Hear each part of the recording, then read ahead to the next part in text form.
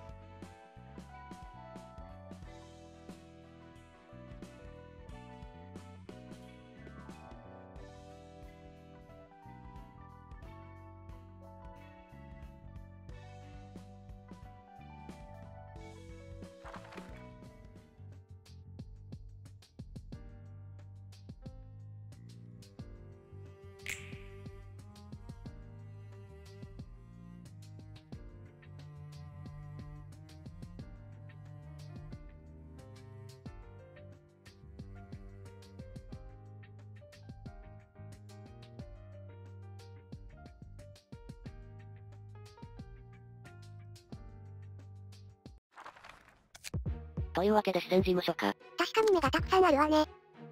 目だよね。このボノってやつ、幕の終了時に50%の確率でパワー1獲得って書かれてるし真っ先にやった方がいいかもしれないな。あとはマシ関連のパッシブスキルみたい。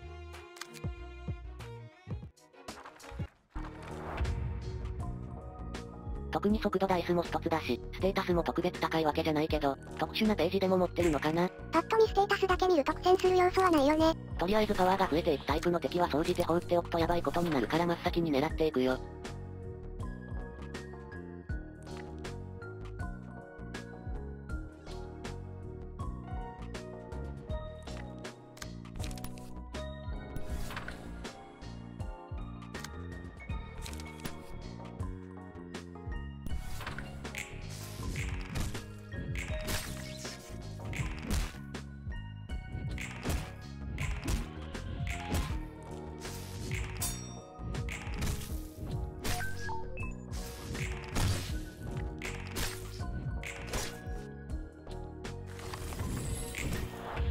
するとコストが減る3コストのカード、あれ欲しいね。敵が使うのは厄介だね。速度ダイスが2個ないのが救いだよ。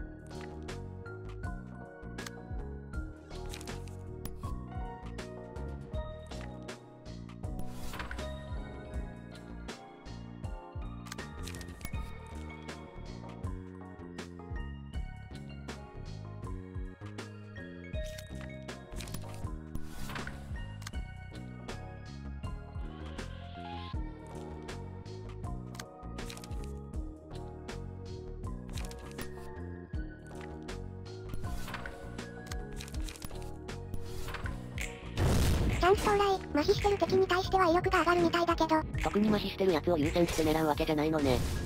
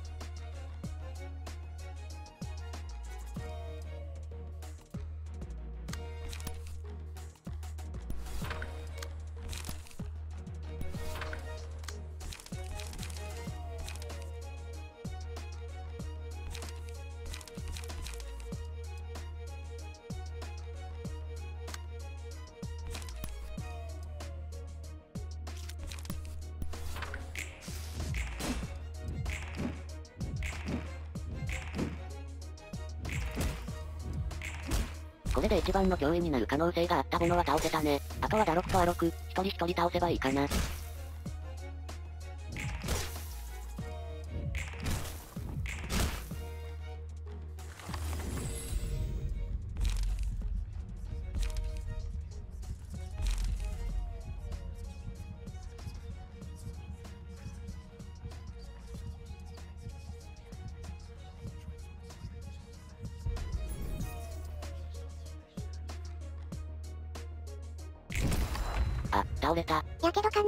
なればもう余裕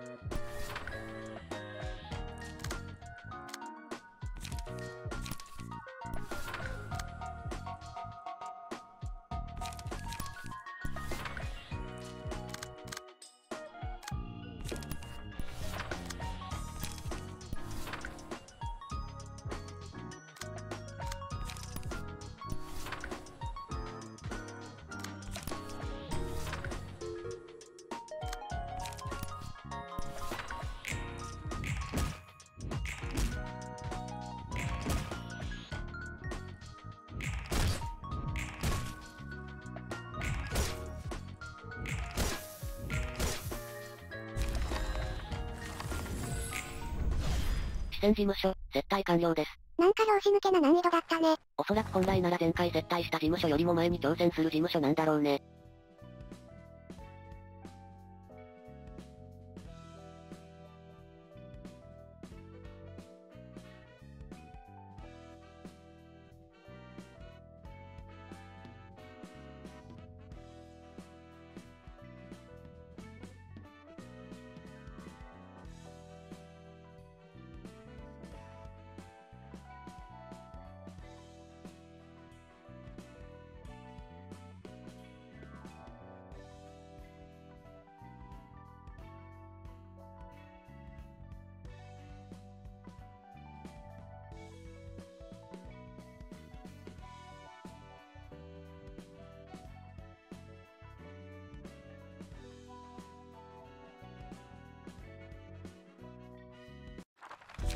というわけで今回はこの辺で終わりかおっと、まだ続きがあったのね。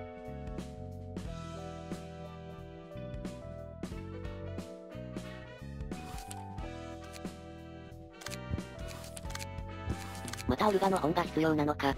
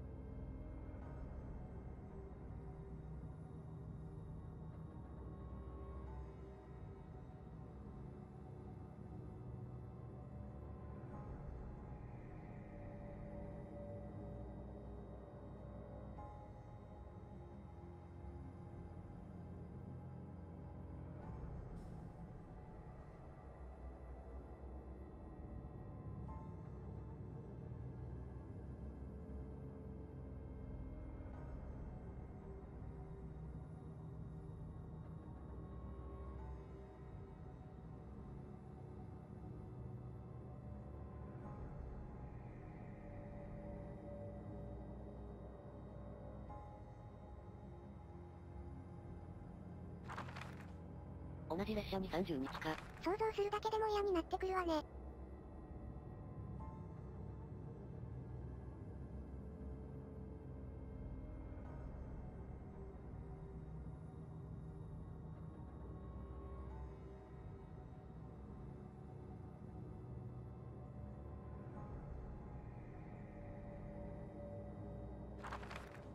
93日。約3ヶ月ね。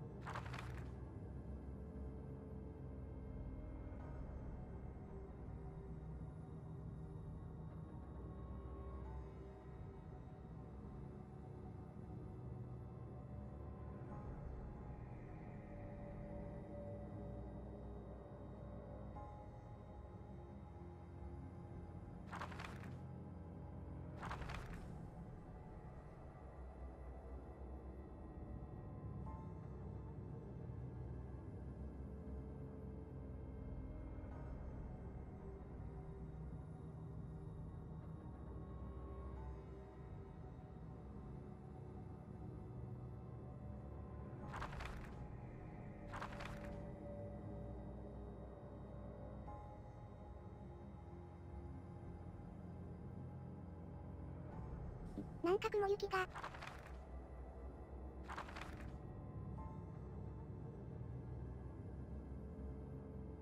新しい体。もうやばい感じじゃね。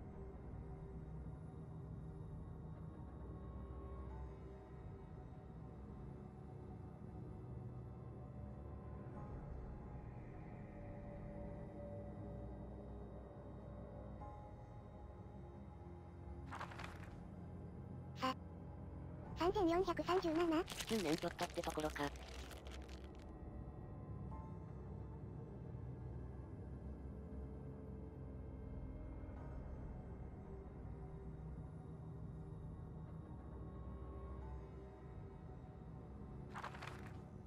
ああ、もうやっぱりダメだったわ。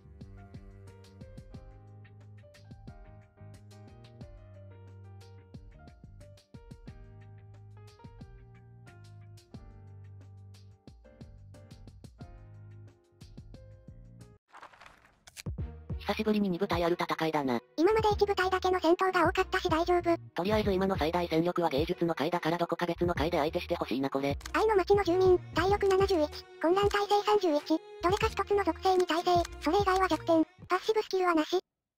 純粋に強いタイプかこれ。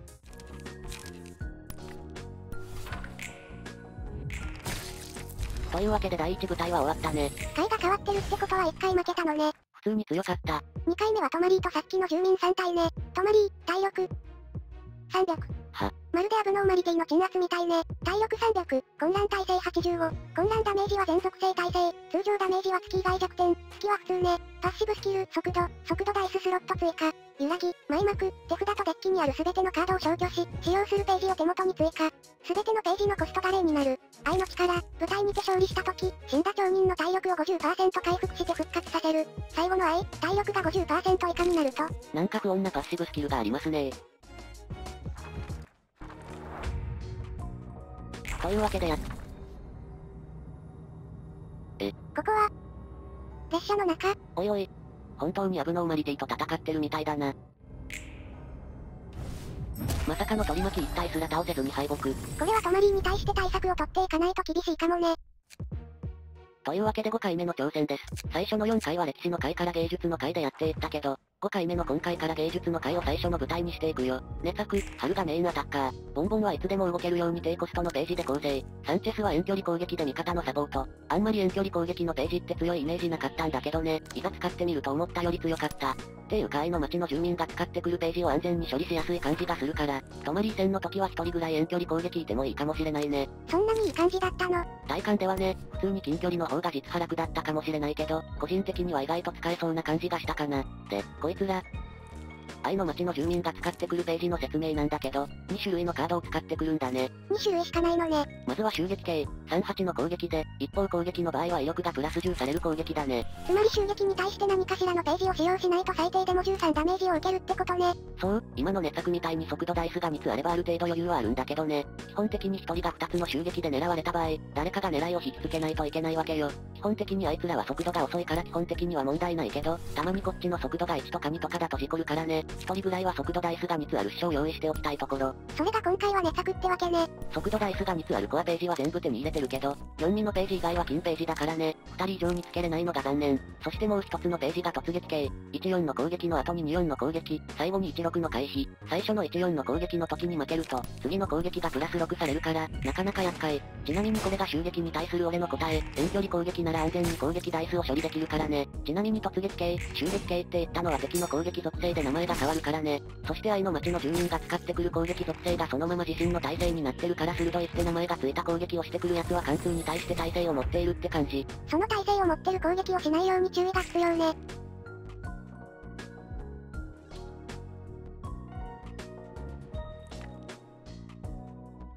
今は襲撃を使ってくる敵を把握して、突撃は無視して一体集中砲火してもいいかもしれない。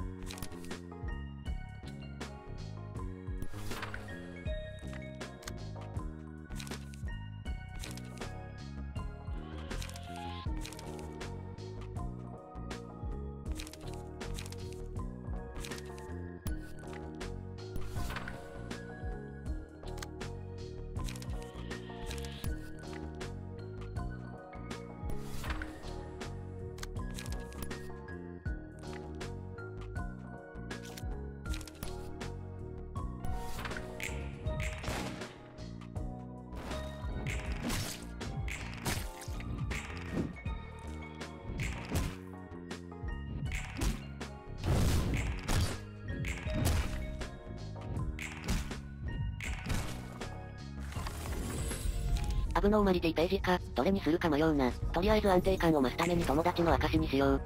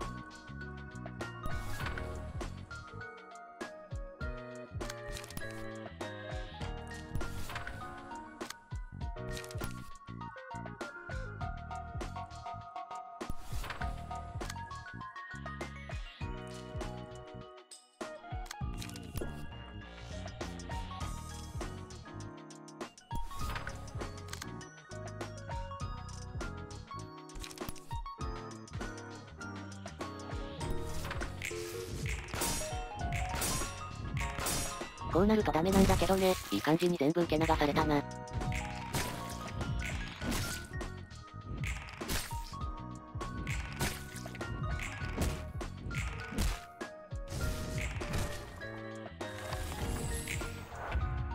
そろそろ相手も混乱してくる頃だろうし一気に畳けれるかもね。やっぱり純粋に体力が多いから長引くね。せっかくの戦闘だしカットはやらない方向で言ってるけど、攻撃パターンも紹介してある程度戦ったし程よくカットした方がいいのかな。そこは好みでしょうね。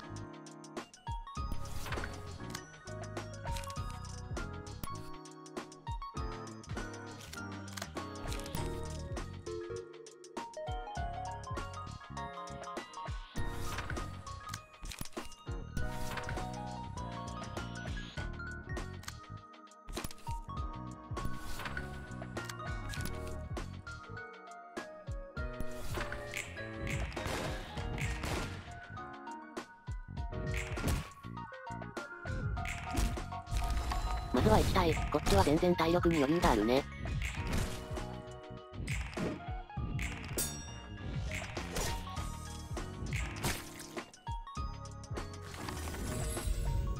次のアブノーマリティページか。貫くでいいかな貫通ダメージの強化。混乱体制の最大値に干渉するのは強いわよね。貫通攻撃の強力なページを持ってるネ策につけるのね。今更だが銃も貫通攻撃あるしそっちでよかったかもしれない。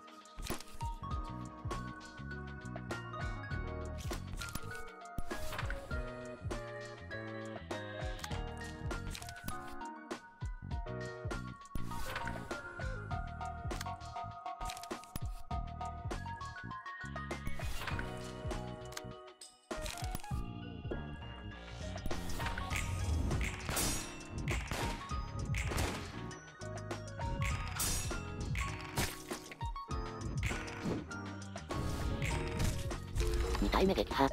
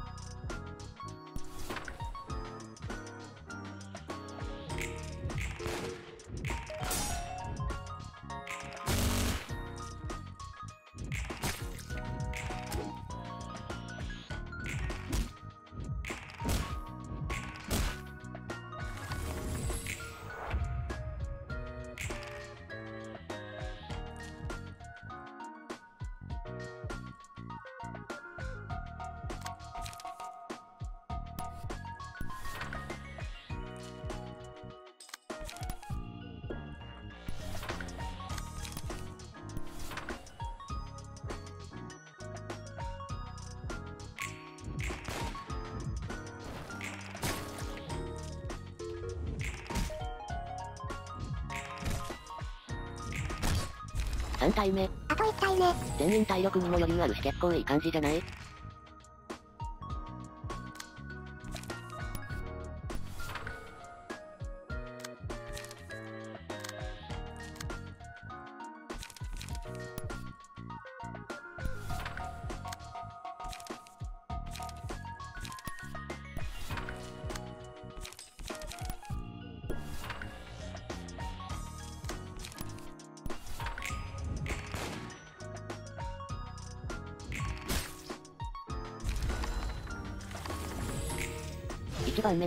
の舞台完了です。5戦目にして初めて1番目の舞台勝ったわね。とりあえず芸術の回で止まりを削っていこうか。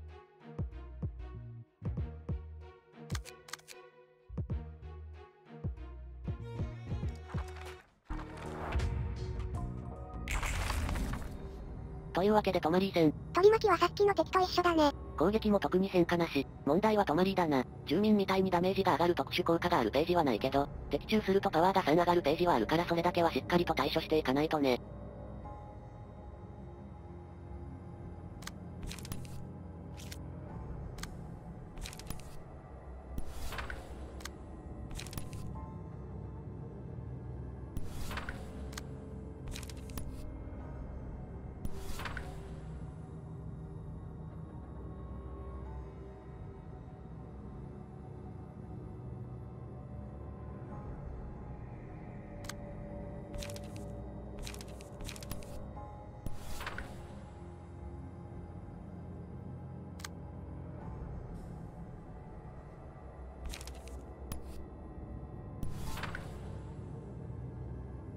ページだね。ダメージ自体は低めだから回避ダイスを使わせれば対処は楽かも。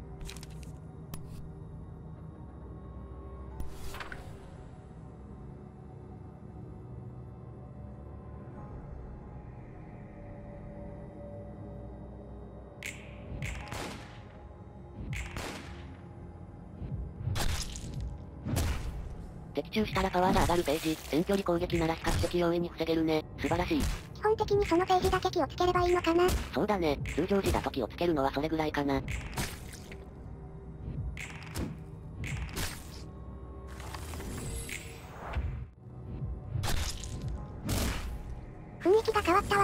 このタイミングだとトマリーの混乱体制が全て脆弱になるよ。行動も一つのページのみ。この隙に全ての攻撃を叩き込んでいくってことね。このタイミングだと取り巻きは全部混乱してるよ。邪魔を気にしないでトマリーに攻撃していこう。ちなみに次のターンに強力な攻撃が来るからここで混乱させないと色々やばいです。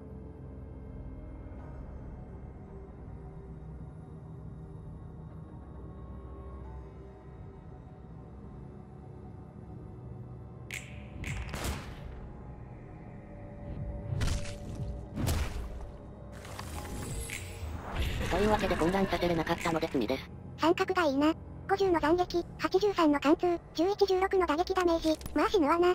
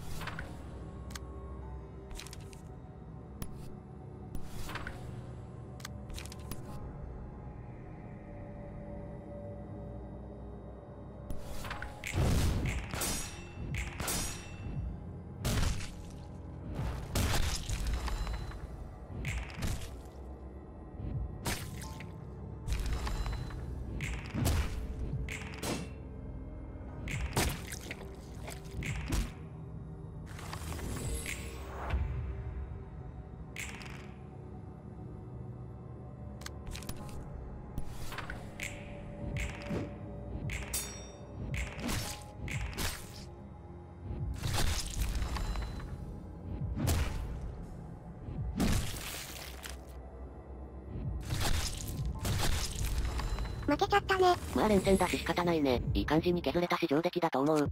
というわけでここからが本番、歴史の回でトマリーにとどめを刺していくよ。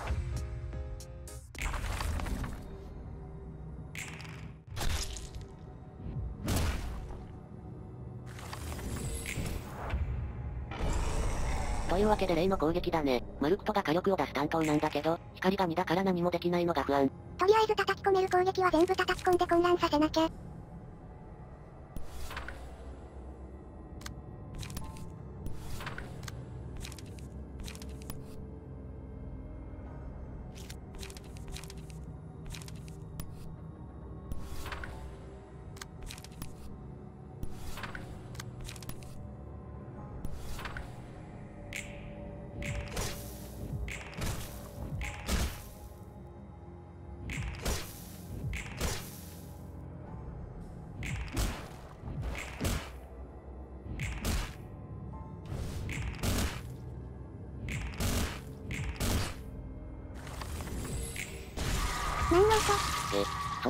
力が一定以下になると何か起こるんじゃ。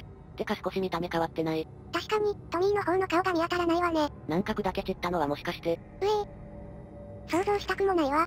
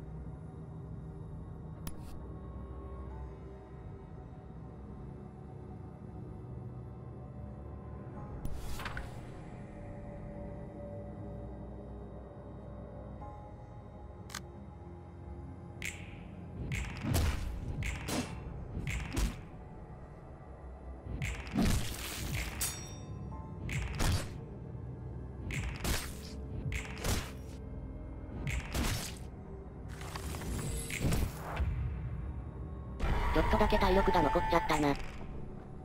うん、見たことのないページだ。バトルページ、愛の無知、820の斬撃ダメージ、的中した場合出血3、かすかな記憶、28の回避、26の斬撃、26の打撃ダメージ、使用時に自分の体力が25%以下なら全てのダイスの威力プラス2。これはもう条件を満たしてるわね。つまりかすかな記憶は40の回避、48の斬撃、48の打撃ダメージになってるわけだ。それに加えて取り巻きの攻撃にも対処しないといけない。大丈夫かしら？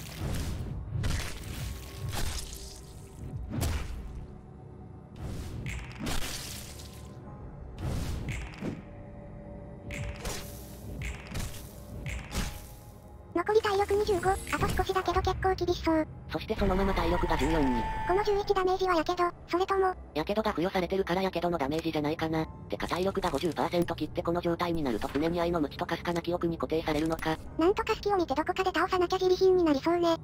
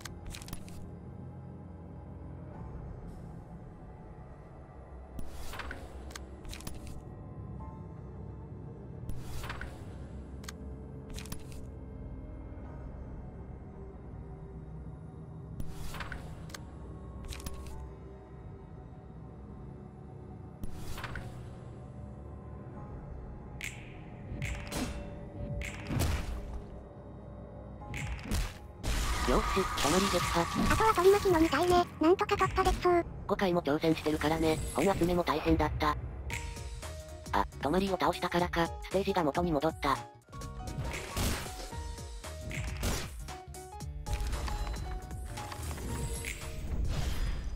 というわけで止まり、接待完了です。ものすごい強敵だった。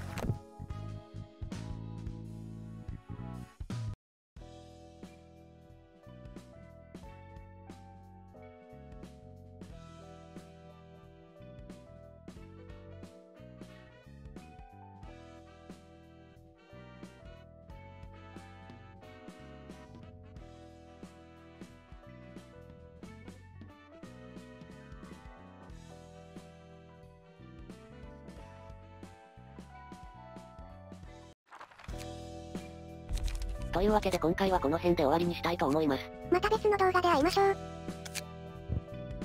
バイバイ。